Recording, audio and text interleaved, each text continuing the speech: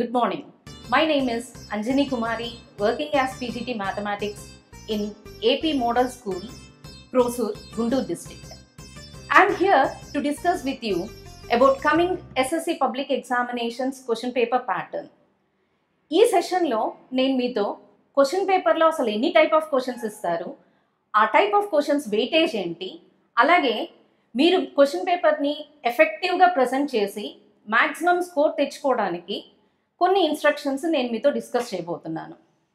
So question paper ప్యాటర్న్కి వచ్చేద్దాం. Question paper pattern వచ్చినప్పుడు మీకు ఫోర్ సెక్షన్స్ ఉంటాయి హండ్రెడ్ మార్క్స్ పేపర్లో ఆ ఫోర్ సెక్షన్లో section one one mark questions twelve ఉంటాయి మీకు. From question number one to question number twelve అలాగే సెక్షన్ టూకి వచ్చేసరికి టూ మార్క్స్ క్వశ్చన్స్ ఉంటాయి మీకు. క్వశ్చన్ నెంబర్ థర్టీన్ నుంచి క్వశ్చన్ నెంబర్ ట్వంటీ వరకు. Section number three four marks questions ఉంటాయి ఎయిట్ క్వశ్చన్స్ ఉంటాయి ఇక్కడ మీకు. Question number twenty one to question number twenty eight and the last session fourth సెషన్లో eight marks questions ఉంటాయి మీకు. Question number twenty nine to thirty three five questions ఉంటాయి మీకు. And one thing I want to highlight here మీకు question paper మొత్తం మీద section ఫోర్లో మాత్రమే ఇంటర్నల్ చాయిస్ ఉంటుంది. ఇంకా ఏ సెక్షన్లో కూడా మీకు చాయిస్ అనేది ఉండదు. ఇంటర్నల్ చాయిస్ అంటే ఎయిట్ మార్క్స్ క్వశ్చన్స్ మీకు question number twenty nine to thirty three ఉంది కదా. సపోజ్ ట్వంటీ నైన్త్ క్వశ్చన్ తీసుకుందాం. దాంట్లో A or B twenty nine A or twenty nine B ఇస్తారు. ఈ రెండిట్లో మీరు ఒక్క క్వశ్చన్కి ఆన్సర్ చేస్తే చాలు. ఒకదానికి సొల్యూషన్ రాస్తే చాలు. So this is about the pattern of the question paper hundred marks paper next weightage of the questions చూస్తే మీకు ఆల్రెడీ ప్రీవియస్ క్లాసెస్ నుంచి మీకు తెలుసు చాలా ఎగ్జామ్స్ రాశారు. వెయిటేజ్ అనేది ఈ ఒక్కొక్క చాప్టర్కి ఇన్ని మార్క్స్ వస్తాయి అనేది ఉండదు మీకు. ఓన్లీ బై ఎకడమిక్ స్టాండర్డ్స్ మీకు వెయిటేజ్ అనేది ఉంటుంది. ఆల్రెడీ మనకి మ్యాథమెటిక్స్లో ఎన్ని ఎకడమిక్ స్టాండర్డ్స్ ఉన్నాయో మనందరికీ తెలిసిందే. Five academic standards problem solving A S one reasoning and proof A S two communication A S three connection A S four and visualisation and representation A S five ఈ academic standard వైజ్గా one మార్క్వి two marks four marks and my eight marks questions అసలు ఎన్నెన్ని రావచ్చు అనేది ఒక just ఒక అవగాహన కోసమే ఒక ఎగ్జాంపుల్ చూద్దాం మనం. మీకు academic standard A S one నుంచి one mark question six two marks questions three four marks questions three and eight marks questions two ఇస్తారు. టోటల్లీ మీకు ఈ academic standard A S one నుంచి ఫార్టీ మార్క్స్ ఉంటాయి. ఈ ప్రాబ్లమ్ సాల్వింగ్లో questions ఎలా ఉండొచ్చు మనకి? సాల్వ్ ఫైండ్ డిటర్మిన్ ఇవాల్యుయేట్ ఈ టైప్ ఆఫ్ క్వశ్చన్స్ అన్నీ కూడా మనకి ప్రాబ్లమ్ సాల్వింగ్లో అడుగుతారు. Next moving to A S two reasoning and proof దీంట్లో one mark questions two two marks questions one four marks questions two eight marks questions one వచ్చే chance ఉంది. ఇది నేను ఒక ఎగ్జాంపుల్గా మాత్రమే మీకు చెప్తున్నాను. సో దీంట్లో total weightage for reasoning and proof is twenty marks so ఈ రీజనింగ్ అండ్ ప్రూఫ్లో ఏ టైప్ ఆఫ్ క్వశ్చన్స్ ఉండొచ్చు మనకి? Prove that show that justify your answer whether can why do you agree give reason is it correct ఈ type of questions అన్నీ కూడా మనకి reasoning and ప్రూఫ్లో అడుగుతారు. Next coming to the next academic standard A S three కమ్యూనికేషన్కి వచ్చేసరికి one mark questions two two marks questions two four marks questions one and total weightage of this academic standard is ten marks ఇది ten marks least weightage కాబట్టి దీని నుంచి eight marks question వచ్చే chance లేదు మీకు. So ఈ communication ఈ communication అంటే ఎలా ఉంటాయి ఈ questions write a formula give an example express represent in an equation express the explain the terms define state ఇలాంటి క్వశ్చన్స్ అన్నీ కూడా మీకు కమ్యూనికేషన్లోకి కిందకు వస్తాయి so write a formula for example మనకి స్టాటిస్టిక్స్లో మీన్ మీడియన్ మోడ్ ఫార్ములే చాలా ఉన్నాయి. అలాగే arithmetic ప్రోగ్రెషన్స్లో sum of and terms nth term T N S N ఇవన్నీ ఉన్నాయి. ఆ ఫార్ములా రాసి దాంట్లో ఉన్న each and every term explain చేయమని అడగచ్చు ఆర్ డైరెక్ట్గా మీకు ఫార్ములా ఇచ్చేసి T N is equal to A plus N minus one into D and డైరెక్ట్గా ఫార్ములా ఇచ్చేసి దాంట్లో టర్మ్స్ని ఎక్స్ప్లెయిన్ చేయమని అడగచ్చు ఈ కమ్యూనికేషన్లో so next moving to the academic standard connection A S four one mark question one two marks question one four marks question one and S A type questions eight marks question one వచ్చే chance ఉంది. So total weightage for this academic standard is fifteen marks so ఈ కనెక్షన్లో అసలు questions ఎలా రావచ్చు? అంటే connecting one concept to another concept of mathematics or daily life ఎలా అంటే లాగదమ్స్ని రియల్ నెంబర్స్ని కనెక్ట్ చేసేది. జామెంట్రీని పాలనామియల్స్లోకి కనెక్ట్ చేసేది. అలాగే ప్రాబబిలిటీ టు జామెంట్రీ కనెక్ట్ చేసే ప్రాబ్లమ్స్ మీకు సిలబస్లో ఉన్నవి ఏఎస్ ఫోర్ కనెక్షన్లో అడిగే ఛాన్స్ ఉంది. Next coming to the last academic standard AS five visualization and representation దీంట్లో కూడా one mark question one two marks question one four marks question one and eight marks question one వచ్చే chance ఉంది. దీని weightage కూడా fifteen marks so academic standard A five visualization and representation నుంచి మీకు fifteen marks వస్తాయి. So ఈ visualization and representation I know that you feel very happy to solve all this problems of visualization and representation మీరు చాలా ఇంట్రెస్ట్గా చేస్తారు ఈ fifteen మార్క్స్ని అండ్ ఈజీగా స్కోర్ చేయగలుగుతారు ఈ ఫిఫ్టీన్ మార్క్స్ని సో విజువలైజేషన్ అండ్ రిప్రజెంటేషన్లో మనకి ఏ టైప్ ఆఫ్ క్వశ్చన్స్ ఉంటాయి?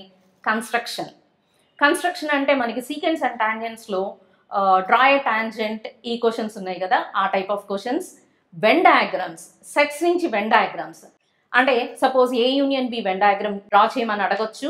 లేదు అంటే ఒక వెన్ డయాగ్రామ్ డైరెక్ట్గా ఇచ్చేసి అది ఆ షేడెడ్ రీజియన్ ఏ సెట్ని రిప్రజెంట్ చేస్తుంది అని అడగచ్చు. అలాగే graph of a polynomial rough diagram to a situation మనకి అప్లికేషన్స్ ఆఫ్ ట్రిగ్నామెంట్రీలో ఒక సిచ్యువేషన్ ఇచ్చేసి దానికి ఒక రఫ్ డయాగ్రామ్ గీయండి అని అడగొచ్చు. అలాగే OG curves from statistics and conclusion from graphs ఒక గ్రాఫ్ ఇచ్చేసి ఆ పాలినామియల్ డిగ్రీ ఎంత అని అడగొచ్చు number of zeros of that polynomial అని అడగొచ్చు సో ఇది visualisation and representation so coming to each and every weightage of the academic standard. For problem solving AS1, you will have 40 marks. For reasoning and proof, AS2, you will have uh, 20 marks. For communication, AS3, you will have 10 marks.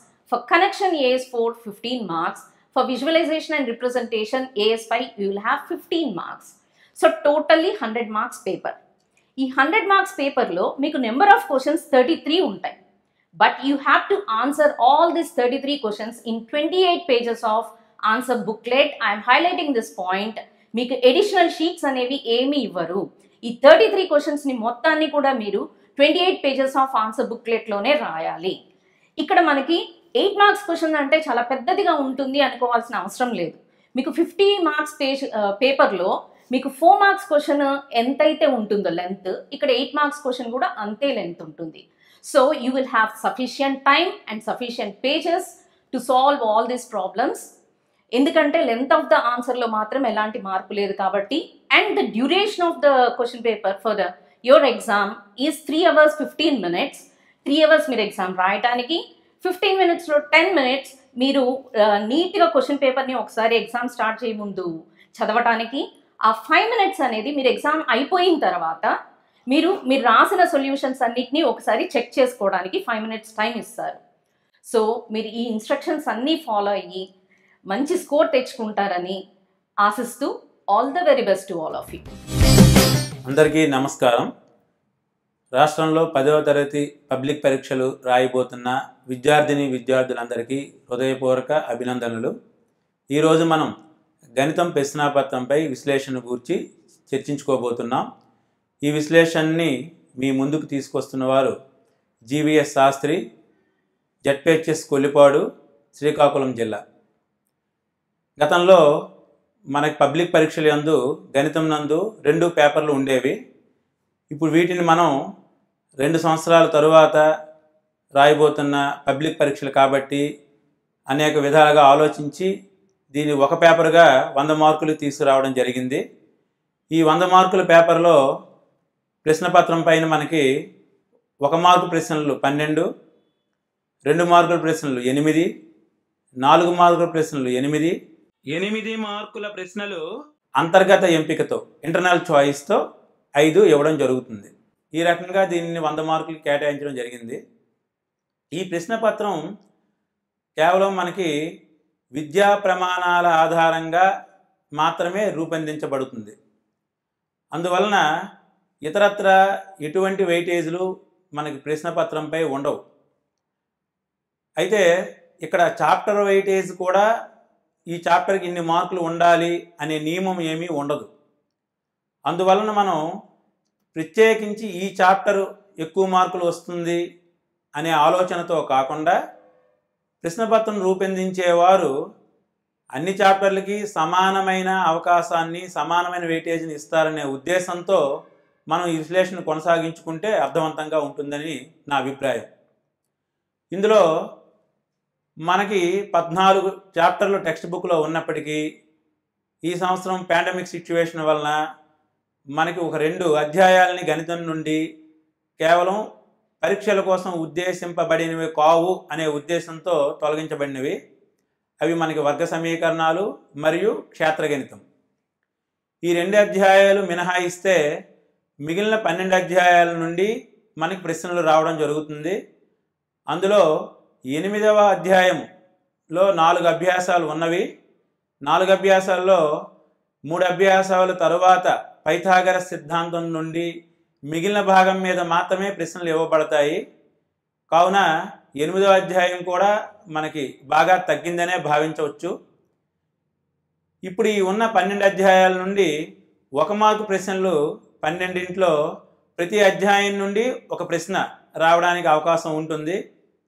ఈ ఒక mark ప్రశ్నలు కూడా ఏడు రకాలుగా అడగడం జరుగుతుంది. అవి బహుళైచ్ఛిక ప్రశ్నలు ఎసెర్షన్ రీజన్ టైప్ ప్రశ్నలు. అంటే ధృవీకరణ మరియు కారణం అనే రకంవి అలాగే స్టేట్మెంట్ వన్ స్టేట్మెంట్ టూ ఇచ్చి ఇందులో ఈ రెండిట్లో ఏవి సత్యము అనే రకము. తర్వాత ఎస్ ఆర్ నో అనే ఆన్సర్ ఇచ్చేవి. జతపరచడం. ఇలా ఏడు రకాల ప్రశ్నలు మనకి అందులో ఇవ్వడం జరుగుతుంది.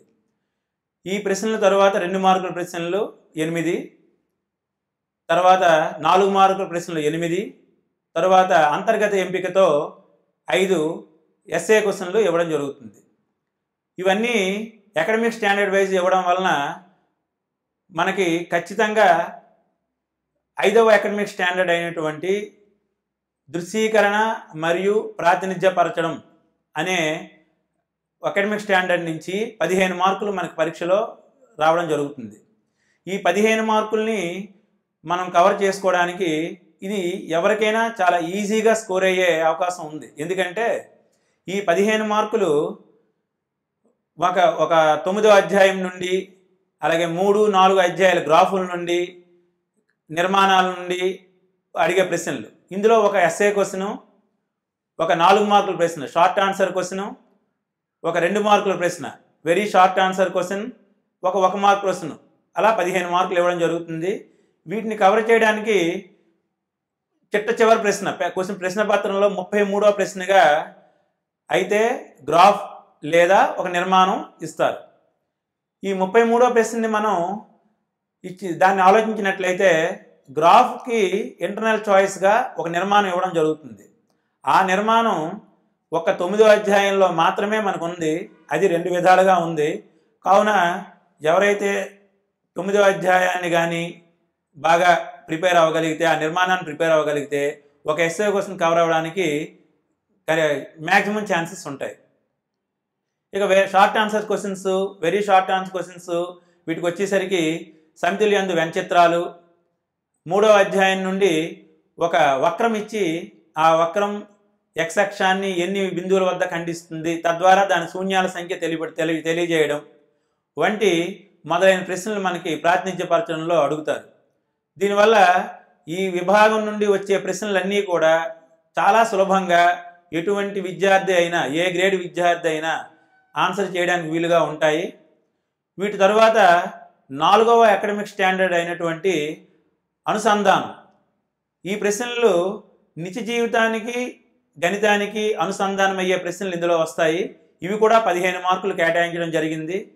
ఈ పదిహేను మార్కుల్లో మనకి ఒక ఎస్ఏ క్వశ్చన్ ఒక షార్ట్ ఆన్సర్ క్వశ్చన్ అనగా నాలుగు మార్కుల ప్రశ్న ఒక రెండు మార్కుల ప్రశ్న ఒక ఒక మార్కు ప్రశ్న మనకి ఇవ్వడం జరుగుతుంది. ఇవి కూడా నిత్య జీవిత సమస్యలు. ఏదో నిచ్చిన యొక్క పొడవు కొనుక్కోవడం అలాగే రెండో అధ్యాయం ప- పన్నెండో అధ్యాయం నుంచి మనకు కొన్ని పటాలు గీయడం వాటి యొక్క వాటి మీద ప్రశ్నలు నిరూప నిరూపకత గణితం నుండి మొదలైన ప్రశ్నలన్నీ కూడా నిత్య జీవిత సమస్యలుగా రావడం జరుగుతుంది.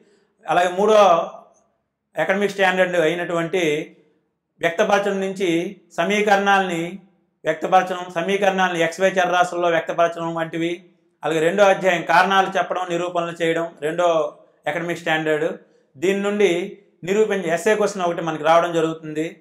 అలాగే ఒకటో అకాడమిక్ స్టాండర్డ్ అయినటువంటి మనకి ఏదైతే ఒకటో అకాడమిక్ స్టాండర్డ్ గురించి మనం చెప్పుకున్నాం అందులో రెండు ఎస్ఏ క్వశ్చన్లు వస్తాయి. అవి రెండు ఎనిమిది పదహారు మార్కులు. ఇవి సమస్యా సాధన మీద ఉంటాయి ఈ ప్రశ్నలన్నీ కూడా. ఈ ప్రశ్నల్ని మనం ఒకటో అధ్యాయంలో సమర్గమానాలు అలాగే రెండో అధ్యాయంలో చిత్రాలు అలాగే A minus B A union B A intersection section B చేయడం మూడో అధ్యాయంలో గ్రాఫులు నాలుగో అధ్యాయంలో కూడా గ్రాఫులు ఏ ఆరో అధ్యాయం నుంచి సమస్యా సాధనలు ఏడో అధ్యాయం నుంచి త్రిభుజ వైశాల్యాలు మొదలైనవి ఎనిమిదో అధ్యాయం నుంచి పైతాగ సిద్ధాంతం దాని దాని అనువర్తనాలు తొమ్మిదో అధ్యాయం నుంచి నిర్మాణాలు పదకొండో అధ్యాయం నుంచి చివరి అభ్యాసం లెక్కలు పన్నెండో అధ్యాయం నుంచి పటాలు ప్రశ్నకి తగిన పటం గీయడం పదమూడో అధ్యాయం నుంచి సంభావిత మీద లెక్కలు అవి అనువర్తనాలుగా అనుసంధానం మీద అడుగుతారు.